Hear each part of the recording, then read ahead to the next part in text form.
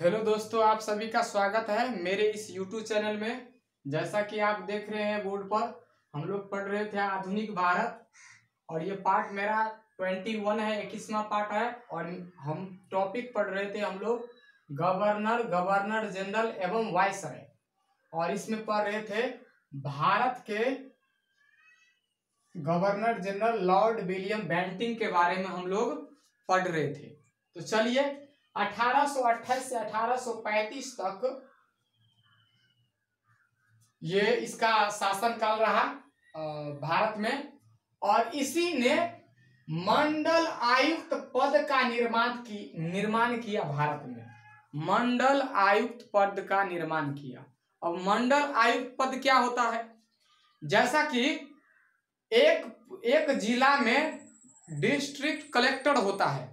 एक जिला का पदाधिकारी ऑफिसर डिस्ट्रिक्ट कलेक्टर होता है डीसी होता है, और जिला जिला को भी मिला करके, कुछ और जिला को भी मिला करके जिसका निर्माण किया जाता है, जिस क्षेत्र का निर्माण किया जाता है, उसे कहा जाता है मंडल आयुक्त। और उस मंडल आयुक्त एक पद बनाया जाता है उसके तहत, एक पद बनाया जाता है, और उस पद के किसी को अधिकारी नियुक्त किया जाता है। जैसे जिला का अधिकारी होता है, डिस्ट्रिक्ट कलेक्टर, उसी तरह से मंडल आयुक्त का भी कोई अधिकारी हुआ करता है। और ये पद बनाया था कौन? Lord William Bentinck. और इसी के समय में 1833 में अगला चार्टर एक्ट बनकर आया और इसके तहत क्या कर दिया गया? बंगाल के गवर्नर जनरल को पावर को बढ़ा करके उसे भारत का गवर्नर जनरल बना दिया गया। और जो पहले कहलाता था, बंगाल का गवर्नर जनरल, अब उसे कहा जाने लगा भारत का गवर्नर जनरल। और अगला काम, इसी एक्ट के तहत अंग्रेज़ी को आधिकारिक भाषा ऑफिशियल लैंग्वेज बनाया गया। इसी एक्ट के तहत भारत में अंग्रेज़ी को आधिकारिक भाषा या ऑफिशियल लैंग्वेज बनाया गया तीसरा काम। ईस्ट इंडियन कंपनी के जितने भी व्यापारिक अधिकार हुआ करते थे, उन सभी के सभी व्यापारिक अधिकार इस एक्ट के तहत खत्म कर दिया गया। दो व्यापार हुआ करता था, चाय का व्यापार और चीन के साथ व्यापार। इसको भी खत्म कर दिया गया इस एक्ट के तहत। अगला काम। 1834 में लॉर्ड मैकॉले मिनट्स एक मिशन या आयोग का गठन हुआ, किया। कौन? लॉर्ड विलियम बेंटिंग 1834 में लॉर्ड लॉर्ड मैकॉले मिनट्स आयोग या मिशन का गठन किया, जिसका अध्यक्ष बना ही दिया किसको? लॉर्ड मैकॉले को। लॉर्ड मैकॉले को।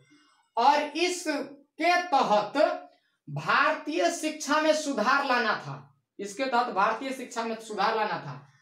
और क्या सुधार लाना था कि इंडियन शिक्षा जो था, उसको, शिक्षा जो था, उसको, उसमें अनिवार्य कर दिया गया क्या? इंग्लिश को अनिवार्य कर दिया गया।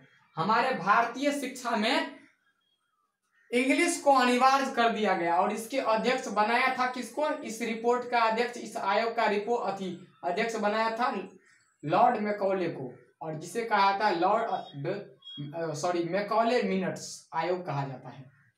और इसी के शासन काल में माथे पर जातीय चिन्ह या कानों में बाली न पहनने का प्रतिबंध लगाया था। पह- नहीं पह, कोई भी पहन नहीं सकता है। जातीय चिन्ह या कानों में बाली नहीं लगा सकता है। इसीलिए 1806 में तमिलनाडु के वेल्लोर में हुआ था कौन सा विद्रोह? सैनिक विद्रोह। और ये काम माथे पर चिन्ह या कानों में बाली लगाने पर विद्रोह किया था सैनिक लोगों ने, जो तमिलनाडु के वेल्लोर से शुरू हुआ था। और अगला काम, सती प्रथा लॉर्ड विलियम बेल्टिंग ने 1829 में हटाया। किसके सहायता से? राजा रोम, राजा राम मोहन राय के, जो हमारे भारत के एक बहुत बड़े समाज सुधारक के नाम, समाज सुधारक के रूप में इसका नाम बेशुमार हुआ है। और इसी की सहायता से सती प्रथा खत्म किया और अठारह में और अकबर और मराठा पेशवा ने भी इस सती प्रथा पर प्रतिबंध लगाने की कोशिश किया था। और अगला, कर्नल एसली माइन, कर्नल एसली माइन की सहायता से 1830 में ठगी प्रथा को भी प्रतिबंध लगाया। माने इसकी सहायता से विलियम लॉर्ड विलियम बेंटिंग ने ठगी प्रथा पर प्रतिबंध लगाया। अब सवाल उठता है कि ठगी प्रथा होता क्या है? माने देवी काली माता का पूजा करना ही ठगी प्रथा कहलाता है। इस पर प्रतिबंध लगाया था कौन? Lord William Bentinck. किसकी सहायता से? तो कर्नल एसली माइन की सहायता से 1830 में। अगला काम 1835 में इसी ने 1835 में 1835 में इसी ने कलकत्ता में कलकत्ता मेडिकल कॉलेज की स्थापना किया। और अगला काम, लॉर्ड मैकॉले की अनुशंसा, लॉर्ड मैकॉले की अनुशंसा के द्वारा इंग्लिश को शिक्षा का माध्यम बनाया गया। माने अंग्रेज़ी को शिक्षा का माध्यम बनाया गया। और यही लॉर्ड मैकॉले हमारे भारत के कानूनी को, कानूनी कानून को वर्गीकरण किया क्लासिफाइड किया कानून को। यही लॉर्ड मैकॉले और यही लॉर्ड मैकॉले ने हमारे शिक्षा पद्धति को आकर चेंज किया। और किसके समय में? लॉर्ड विलियम बेंटिक के समय में ही। और इसने लॉर्ड विलियम बेंटिक ने 1831 में मैसूर और 1834 में कूर्ग और मध्य केचर को हड़प कर ब्रिटिश साम्राज्य में मिलाया। कूर्ग और मध्य कचेर को हड़प कर ब्रिटिश साम्राज्य में मिलाया और इसी के शासनकाल में भारतीय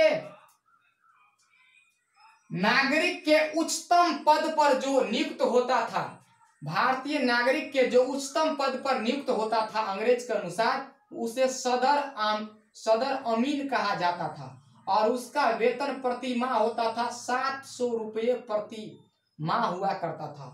और लॉर्ड विलियम बेंटिंग ने अपने शासन काल में शिशु बालिका के हत्या पर भी प्रतिबंध लगाया था। इसके बाद अगला, भारत के गवर्नर जनरल बनकर आया लॉर्ड चार्ल्स मेटकॉफ। इसका शासन काल 1835 से 36 साल तक रहा और केवल ये एक साल तक रहा। और इसी ने भारतीय समाज, भारतीय समाचार पत्र, भारतीय न्यूज़पेपर के प्रतिबंध को हटाया। और इसी को कहा जाता है। इसी लॉर्ड चार्ल्स मेटकॉफ को भारतीय समाचार पत्र के मुक्तिदाता कहा जाता है। और इस समाचार पत्र पर कभी लगाया था प्रतिबंध किसने? लॉर्ड वेलेजली ने लगाया था और इसको प्रतिबंध को हटाया किसने? लॉर्ड चार्ल्स मेटकॉफ ने। ये बहुत बड़ा अच्छा काम किया। इसीलिए इससे एक ही क्वेश्चन बनता है। अगला, भारत का गवर्नर जनरल बनकर आया लॉर्ड ऑकलैंड। जो 1836 से 1842 तक रहा और इसके समय में प्रथम आंगल अफगान युद्ध हुआ अठारह से अठारह तक। और अठारह में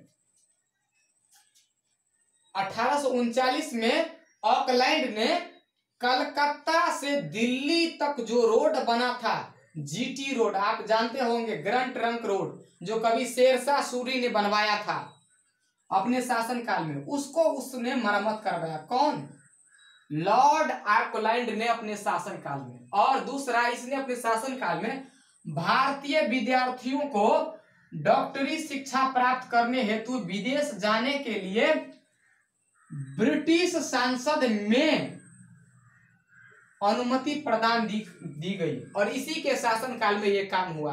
भारतीय स्टूडेंट को विदेश जाने के लिए डॉक्टरी शिक्षा प्राप्त करने हेतु ब्रिटिश संसद में ये अनुमति दिया गया कि आप जा सकते हैं विदेश डॉक्टरी शिक्षा प्राप्त करने के लिए। अगला, लॉर्ड एलिन बरो, अगला भारत का गवर्नर जनरल बन, बनकर आया जो 1842 से 44 तक रहा और इसी के समय में प्रथम आंगल अफगान युद्ध हुआ।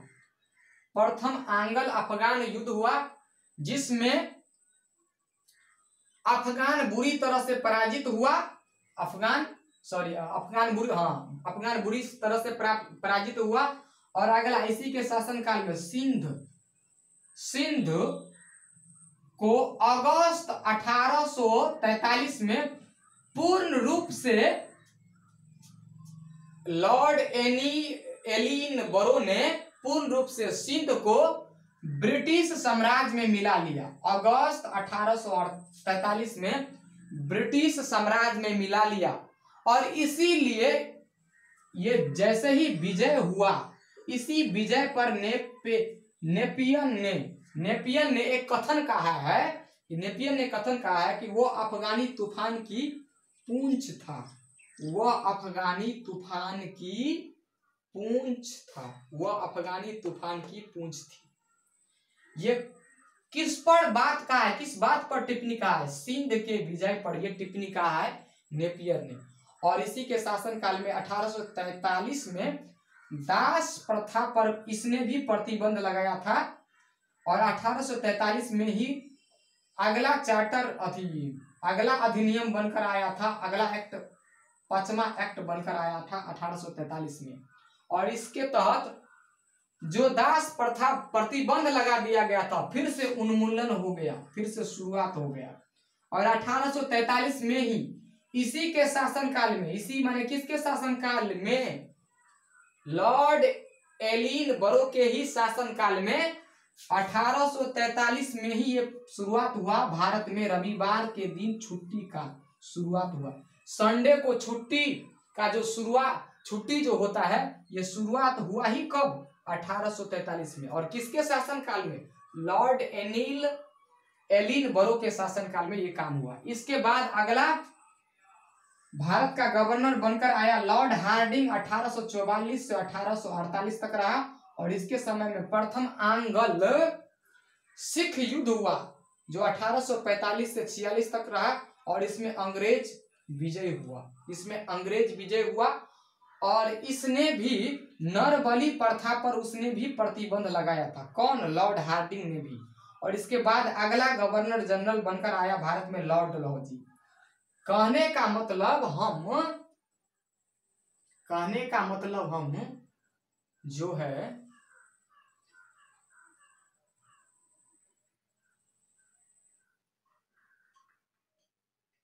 कौन था कौन था?